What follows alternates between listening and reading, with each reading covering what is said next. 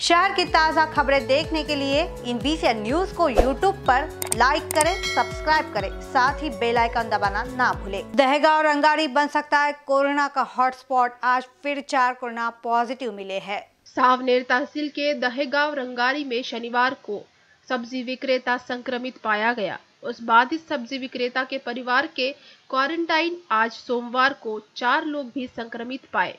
यह चारों लोग एक ही परिवार के बताए जा रहे हैं।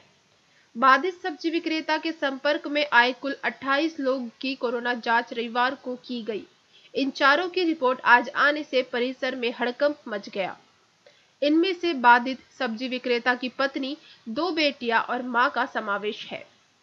सब्ज़ी विक्रेता पॉजिटिव आने के बाद उसकी माँ शनिवार और रविवार को उसके दहेगांव के दूसरे बेटे और कुछ पहचान वालों के घर पर भी जाने की जानकारी सूत्रों के मुताबिक प्राप्त हुई। ग्राम पंचायत प्रशासन ने बताया कि बाधित सब्ज़ी विक्रेता के संपर्क में आए काफ़ी लोग और भी सामने आने के हैं।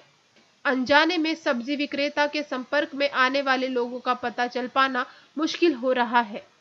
दहेगांव रंगारी सावनेर तहसील कोरोना का हॉटस्पॉट बनने की आशंका। राष्ट्रवादी कांग्रेस नागपुर जिला उपाध्यक्ष किशोर चौधरी ने जताई है। दिनों दिन कोरोना बाधितों की संख्या तेज़ी से बढ़ने लगी है। कोरोना संक्रमण में दहेगांव के अभी तक कुल छह लोग पॉजिटिव मिले हैं।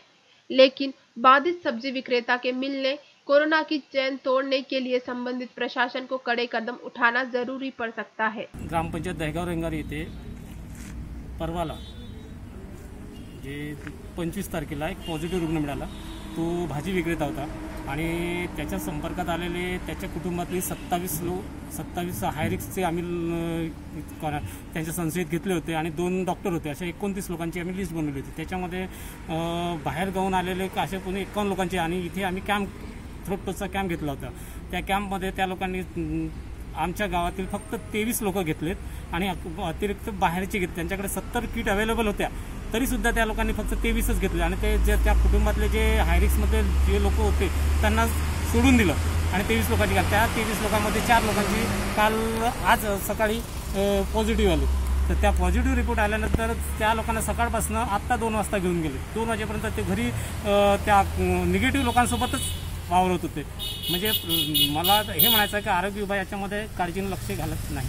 कैमरा पर्सन अरुण महाजन के साथ खापरखेड़ा से दिलीप गजभिये की रिपोर्ट.